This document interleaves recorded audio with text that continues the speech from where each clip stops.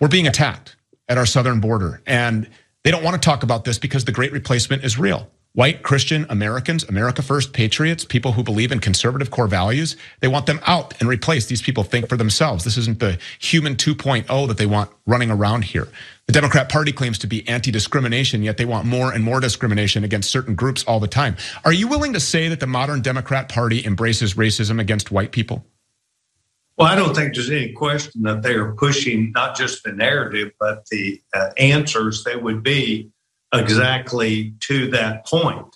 When you look at the things which this Congress does, the conversation. There is uh, that is an elected representative.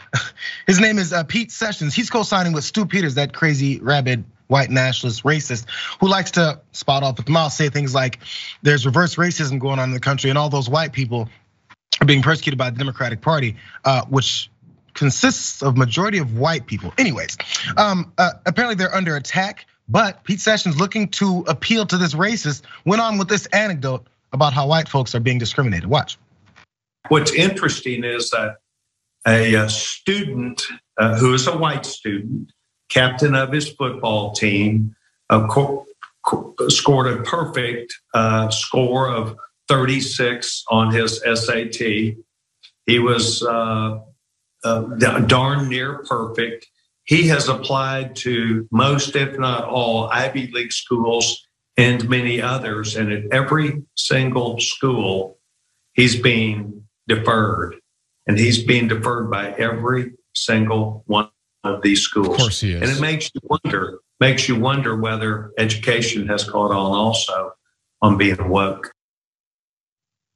So woke. I'm trying to figure out, Pete, uh, when are white folks gonna get a break in this country? It's just, it's a long time coming. Uh, now, by the way, in case you guys don't know, Stew Peters, a little bit more on him, and also Lauren Witzke, who's been catching a little bit more press lately. Uh, he is her boss, and this is what she's about. White nationalist Lauren Witzke, who was the GOP nominee for the US Senate in Delaware in 20, appeared on a YouTube program called No White Guilt in October, and she assured the host that her boss, Far right broadcaster Stew Peters, who you just saw there, shared her concerns that an anti white system is allowing her white heritage to be destroyed by animals. Again, elected representative Pete Sessions is trying to appeal to that guy.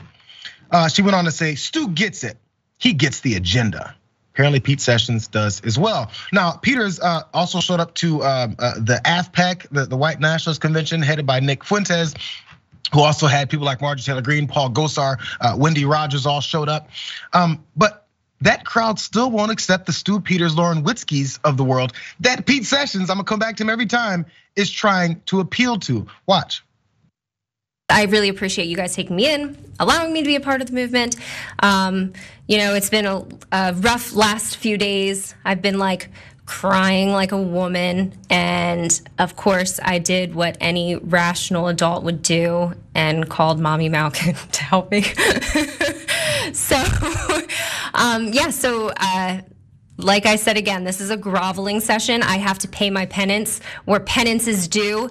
Uh, apologies where they are well deserved. In fact, I respect uh, our great and merciful leader, who has forgiven me, by the way. if you're watching this, you dumb.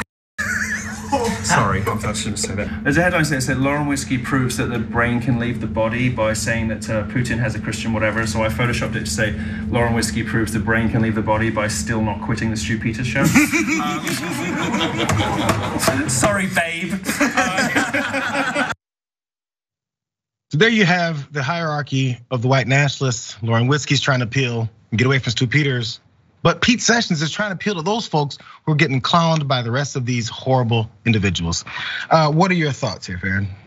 You know, it's really just so shocking what has happened because 10 years ago, people like uh, Stupiders there and all these other idiots with their little AFPAC, no Republican politician would have openly touched them with a 10 foot pole right? You kept these people at arm's length. You didn't address them. You didn't humor them in any way.